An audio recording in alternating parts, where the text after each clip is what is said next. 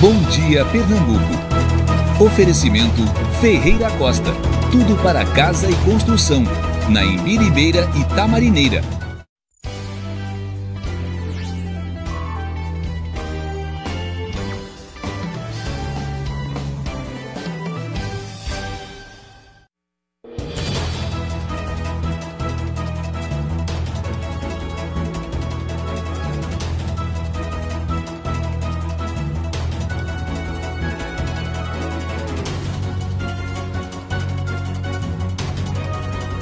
Olá, bom dia! Agora às 6 horas, pode chegar mais. Estamos juntos no Bom Dia Pernambuco desta quinta-feira, 24 de janeiro. E a gente começa esta edição fazendo um passeio pela cidade de Arco Verde, no Sertão. É onde moram 73 mil pessoas, a porta aí de entrada para o sertão. Gente que está acordando agora com sol em Arco Verde. Mas a previsão do tempo aí hoje é de céu com muitas nuvens, pode ter uma chuva rápida à tarde e à noite e que seja uma excelente quinta-feira para você. Você de Arco Verde, você do Sertão, de outras regiões, está acordando junto com a gente aqui no Bom Dia Pernambuco nesta quinta-feira. Vamos juntos até às 8 da manhã. E bora circular com os nossos repórteres para saber alguns assuntos da edição de hoje. Aqui ao vivo e apostos, Danilo César, Bianca Carvalho e Clarissa Góes.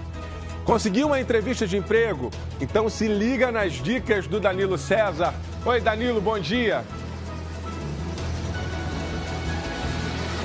Oi Pedro, bom dia para você, bom dia pessoal. Vamos começar essa quinta-feira garantindo aí uma vaga de emprego. Então ter um bom currículo ajuda e muito, viu? Chegar confiante também na entrevista de emprego, isso também pode garantir aquela vaga tão desejada. E conhecer um pouquinho também da empresa e daquela vaga que você quer. Por isso a gente veio aqui para a Agência do Trabalhador de Jaboatão dos Guararapes e vamos conversar sobre isso, dar dicas importantes para quem está à procura de um emprego. É já já, aqui no Bom Dia. Pedro. Tá certo, Danilo. As regras para aposentadoria são assuntos para Bianca Carvalho. Oi, Bianca, bom dia. Oi, Pedro. Bom dia para você, bom dia para todo mundo. Mudanças, né? As pessoas tendo que trabalhar mais para conseguirem o benefício integral na hora de se aposentar. A gente sabe que tem a soma da idade com o tempo de contribuição. No caso das mulheres, essa soma tinha que dar 85. Dos homens, 95 Agora aumentou mais um ponto, mais um ano. Tem que dar 86 a soma para as mulheres e 96 a soma para os homens. Outras mudanças também, vários assuntos sobre aposentadoria. Você liga, manda mensagem para o nosso zap pelo 8181 2222 que a gente vai estar com um especialista neste assunto. Eu volto já, Pedro. Combinado então, Bianca.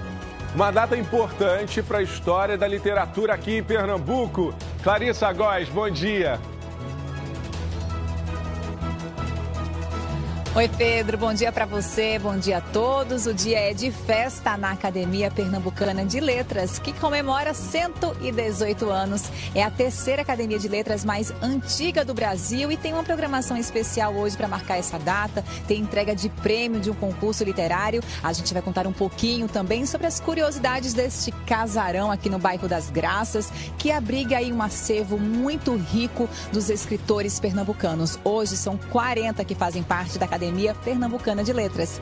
Eu conto já, Pedro. Ah, um espaço muito importante. Até já então, Clarissa. E a gente vai fazer um passeio por uma exposição que mostra muito mais do que belas fotografias. É um mergulho numa história emocionante. Matheus Sampaio, bom dia.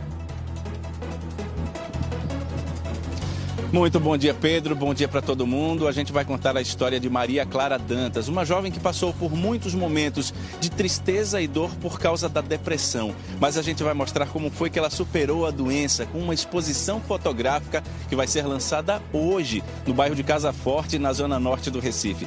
Daqui a pouco a gente vai conversar com ela e mostrar muito do que a motivou a sair dessa doença. Até já, Pedro. Tá certo então, Matheus. E a depressão é o assunto da nossa conversa aqui no estúdio com o médico e chefe do setor de psiquiatria do Hospital Oswaldo Cruz, Antônio Peregrino. Ele vai explicar o que leva uma pessoa a ficar depressiva, como a família e os amigos podem ajudar, onde buscar tratamento e o que fazer para não cair de novo nessa tristeza profunda. Você quer participar dessa conversa? Então manda sua pergunta para a gente no nosso número 98181 2222. E você vai ver também no Bom Dia de hoje. Uma cidade conhecida pela tranquilidade. Calumbi, no Sertão, é um dos sete municípios do estado que não registraram homicídios no ano passado. Operação de combate ao crime organizado. Uma quadrilha foi presa suspeita de assassinatos e venda de drogas. Os acusados agiam em Pernambuco e Alagoas.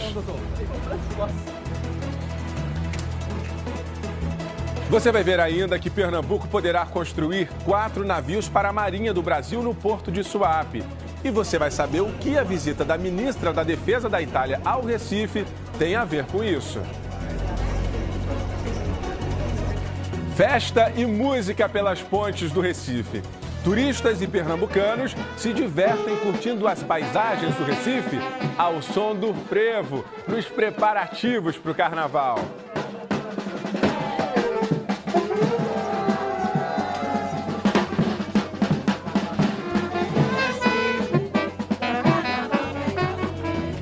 Tem também o futebol com o Rodrigo Raposo, é rodada de Pernambucano. Rodrigo, bom dia. Fala Pedrão, bom dia. Bom dia para você que está acompanhando a gente aqui no Bom Dia Pernambuco. O esporte venceu a primeira no ano, hein? E venceu sem dificuldades. Passou pelo Vitória, jogo na Arena de Pernambuco. E o Leão conseguiu desencantar neste ano com uma vitória. Já já a gente mostra como foi esse jogo da Arena de Pernambuco. E também fala do jogo do Sertão, porque deu empate por lá, hein? O Santa Cruz saiu na frente, mas não conseguiu segurar a vantagem contra o Flamengo de Arco Verde. O jogo terminou empatado, 1 a 1. Santa e Flamengo, Flamengo e Santa. E a gente vai mostrar também o líder do campeonato pernambucano, Central, que venceu o Salgueiro num jogo cheio de gols. Daqui a pouco a gente mostra tudo isso, Pedro Lins. É, interior do estado vindo com tudo nesse início de pernambucano. Então fica com a gente, dá o grau aí no volume da TV e a gente vai junto até às 8 da manhã. Vamos embora, meu povo! O Bom Dia tá no ar para você.